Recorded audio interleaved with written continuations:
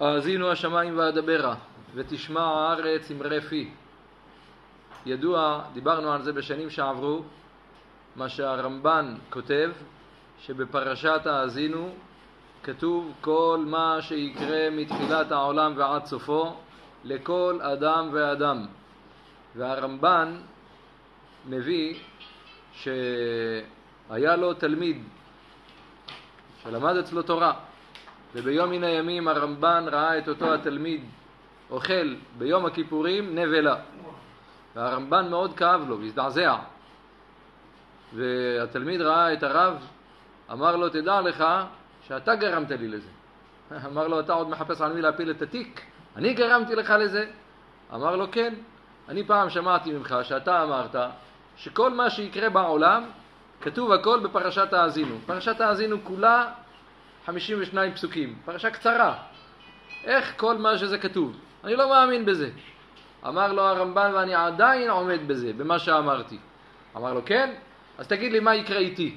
אותו התלמיד היו קוראים לו אבנר. אמר לו תגיד לי מה יקרה איתי. איפה אני רשום בפרשת האזינו? אמר לו הרמב"ן, כך כתוב, עמד איזה שעה אחת, ככה חשב לעצמו, אמר לו כתוב, אמרתי אף אהם אשביתה מאנוש זכרם. האות השלישית, תיקח את האות השלישית, אף אהם, האות השלישית זה א', השביתה, האות השלישית זה ב', א' ש' ב'. מאנוש, מ' א' נ', האות השלישית זה נ', וזכרם, האות השלישית, ז' כ' ר', זה ר'. יוצא צירוף של האותיות אבנר. אמר לו הרמב"ן, הנה אתה רואה, אתה כתוב פה. אמר לו, ומה יהיה איתי? אמר לו, הנה כתוב, השביתה מאנוש זכרם. והתלמיד הזה, כשהוא שמע ככה, נכנסו הדברים בליבו כמו חץ, כמו ארס של נחש. לקח סירה, עם השוטים הפליג לים, ולא נודע מה עלה, מה עלה איתו. ובאמת השביתה מאנוש זכרם, הושבת מאנוש זכרו. זה אומר הרמב"ן, הכל כתוב בפרשת האזינו. אומר לנו משה רבנו האזינו השמיים ואדברה ותשמע הארץ עם רפי. ידוע שהנשמה היא נקראת השמיים, נקרא אל השמיים מעל. הארץ זה כינוי לגוף, זה כינוי ל, ל, לחומר, לחומריות שלנו.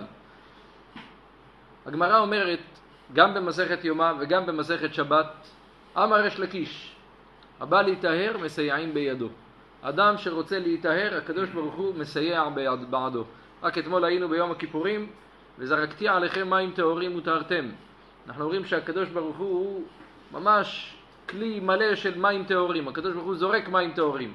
אבל אנחנו צריכים לרוקן את הדליים של הלכלוך שלנו, ואז המים שהקדוש ברוך הוא זורק לנו הם ייכנסו לתוך הדלי. אבל אם אנחנו, איך אומרים, כלי מלא בושה וכלימה, אז אנחנו צריכים לנענע קצת את הכלי, שישפך קצת הבושה וכלימה החוצה, ואז המים שהקדוש ברוך הוא שופך ייכנס שמה. זה אומר אה, משה רבנו, האזינו השמיים ואדברה. השמיים זה הכינוי לנשמה. זה תשמעו, הנשמה צריכה לשמוע, צריכה לקלוט את המסר, כמו שכתוב, בכל יום ויום בת קול יוצאת מהר חורב, ואומרת אוי להם לבריות מעלבונה של תורה. ותשמע הארץ עם רפי זה הגוף. אתה הגוף צריך לשמוע ולהפנים וליישם. ואתה יודע מה שיהיה? יערוף כמטר לקחי תזל קטל אמרתי. הדברי תורה וההתעוררות שהקדוש ברוך הוא נותן זה כמו גשם.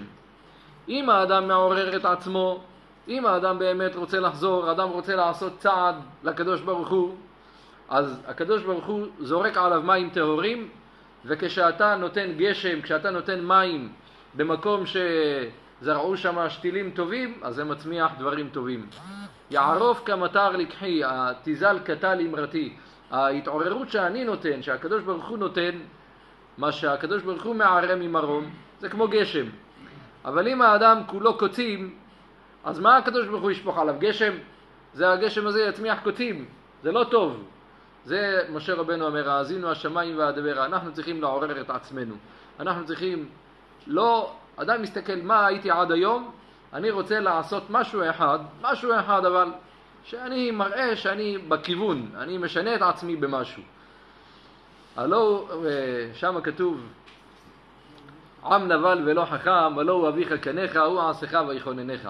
מה זה עם נבל ולא חכם? אז התרגום אומר, אה, עם, עם נבל, עם שקיבלו את התורה. ולא חכם, לא, חכ... לא חכמים. מה זה קשור עם נבל ולא חכם? עם נבל שקיבלו את התורה. זה... איך זה כאילו עם נבל ולא חכם? אומרים, ככה החפץ חיים היה אומר, היה איזה אדם אחד שהלך פעם בדרך, ראה איזה ילד מסכן, שאל מה, מה קרה וזה. בקיצור, התברר, הילד הזה ילד יתום, מסתובב בבתי כנסיות, בככה, בבתי הכנסת אורחים, אין לו איפה לאכול, אין לו איפה לשתות. אסף אותו אל ביתו, נתן לו לאכול, השקע אותו, גידל אותו כאילו זה ילד שלו. הגיע יום חתונתו ויום שמחת ליבו, אומר לו אותו אדם, היה עשיר, הכל עליי, אני נותן לך, אני מסדר לך, החתונה עליי, המוזמנים עליי, הכל עליי, וגם אחרי החתונה אני אתן לך סכום כסף שתתחיל עם זה את החיים שלך, ולחתונה אני אקנה לך שעון יקר מאוד. טוב, הגיע יום החתונה, הגיע האבא המאמץ הזה, הגיע לחתן, פותח את הקופסה של השעון, אומר לו, תראה, אני השגתי שעון לא בדיוק כמו שהבטחתי לך, שעון גם יפה, אבל פעם אחרת בהזדמנות אני אמלא את ההבטחה שלי, אקנה לך משהו אחר. ההוא החתן מסתכל על השעון, אומר לו, מה זה השעון הזה? היה שם מישהו, אומר לו, אתה נבל, אבל חוץ ממה שאתה נבל אתה גם טיפש. למה? מילא אם היית אומר לו את הפחי הזה, היית עושה לו אחרי שהוא כבר היה נותן לך את כל ההתחייבות שהוא התחייב לך, טוב, אז אתה רק נבל. אבל עכשיו אתה גם טיפש עם פלומבה. למה?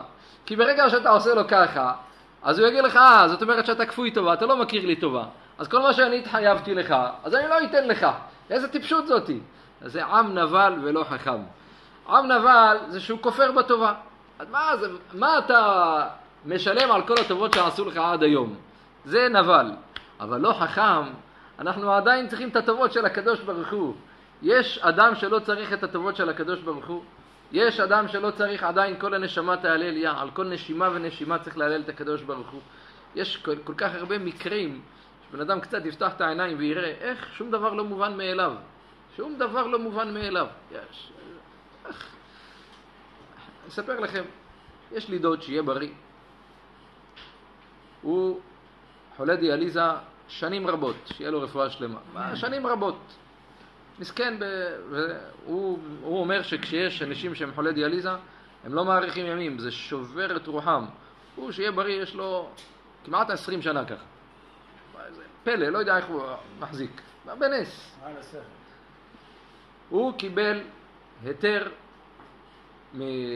מרב בראש השנה האחרון, שגוי יבוא וילחץ על המעלית, הוא גר בקומה שלישית, הוא לא יכול לעלות ולרדת, אז הרב אמר לו, אתה יכול שגוי יבוא, תגיד לו לפני החג, שילחץ על המעלית, ויבוא עם כיסא גלגלים, ייקחו, ייקחו אותו לבית הכנסת ויחזירו אותו.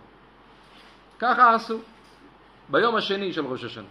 ביום השני של ראש השנה לקחו אותו לבית הכנסת, החזירו אותו, ואז כשהוציאו אותו מהמעלית, שם מרווח קצר, החדר מדרגות הוא חדר קצר. כשהוציאו אותו עם הכיסא מהמעלית לכיוון המדרגות, העגלה החליקה, נפל עם הכיסא והתגלגל. והשם ישמור, שבר את הכתף, ממש מסובב בייסורים.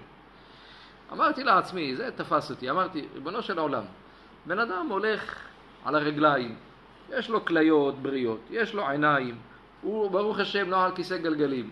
כמה צריך להודות לקדוש ברוך הוא, כמה צריך לשמוח. כמה צריך להודות לקדוש ברוך הוא שעד היום לא קרה כזה דבר. כמה, כמה המש... הפסוק הזה, כל הנשמה תהלל יה, על כל נשימה ונשימה צריך להלל את הקדוש ברוך הוא. כמה זה תופס, כמה זה מחייב את הבן אדם, תהלל את הקדוש ברוך הוא. זה מה שמשה רבנו אומר לנו, עם נבל ולא חכם. אתם, יש כפוי טובה שהוא עוד בשכל. אחרי שהוא לקח לעצמו. הוא כפוי טובה. לא שזה טוב, שזה גרוע מאוד, אבל הוא עוד חכם. אבל חכם להרע. אבל יש עם נבל ולא חכם, אנחנו עדיין צריכים את הטובות של הקדוש ברוך הוא. וזהו מה שמחייב אותנו. ומה שהחתם סופר אומר, עם נבל ולא חכם, הוא אומר ככה. הגמרא אומרת שאברהם אבינו קיים את כל המצוות. אפילו עירובי תבשילין, מצוות דרבנן אברהם אבינו עשה. איך אברהם אבינו עשה את הכל? אז הרשב"א בתשובה אומר שאברהם, על ידי החוכמה שלו, הוא השיג את כל התורה כולה, את כל מה שהקדוש ברוך הוא יצווה, על ידי החוכמה שלו הוא השיג את הכל. אז אומר החתם סופר, נפלא מאוד. אתם עם נבל. אומר התרגום, מה זה עם נבל? עם שקיבלתם את התורה. אז היה קשה, רגע, למה, למה קיבלתם את התורה? אז מיד הפסוק אומר, כי אתם לא חכמים. אם הייתם חכמים כמו אברהם אבינו, אז הייתם יכולים להשיג את כל התורה כולה בלי, בלי לקבל את התורה. גם אברהם אבינו לא קיבל את התורה, הוא ידע לבד עם החוכמה שלו. זה אומר החתם סופר, עם נבל ולא חכם. ברוך אדוני לעולם. אמן ואמן. רבי יחנן בן הקשה אומר